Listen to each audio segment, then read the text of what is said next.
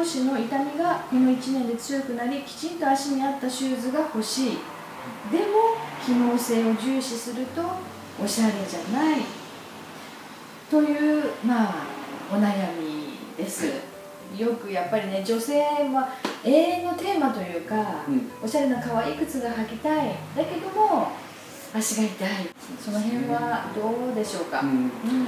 あのそもそもだから外反母趾が進行して痛みが出てきたという一つの原因として考えられるのは、やはりおしゃれな靴。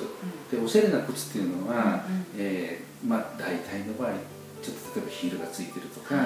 つま先がちょっとこう細くなってるとか。はい。で足が小さく見えるんですよね飾ってあるののを見る分にはすごくかっこいいんですけどね。華奢で可愛らしいんですよね、うん。ただそういう靴を履き続けた結果はい。もし外反母趾になったんであれば、うん。やはりあの指先をちゃんと開放した靴はい。を履かれた方が、うん。えー足も楽ですし外反母趾が進行もをうん。予防するということもできますのでね。そうですね、はい。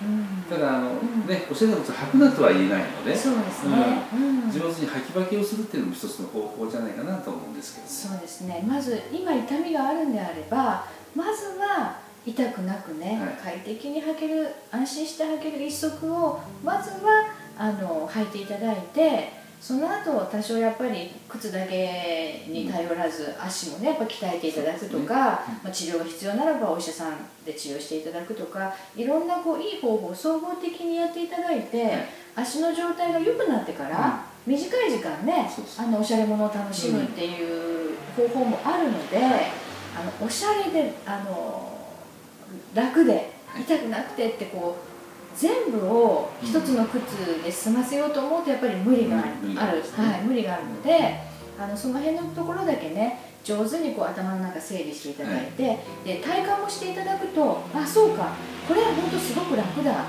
でもちょっとおしゃれじゃないけど。はい。ね。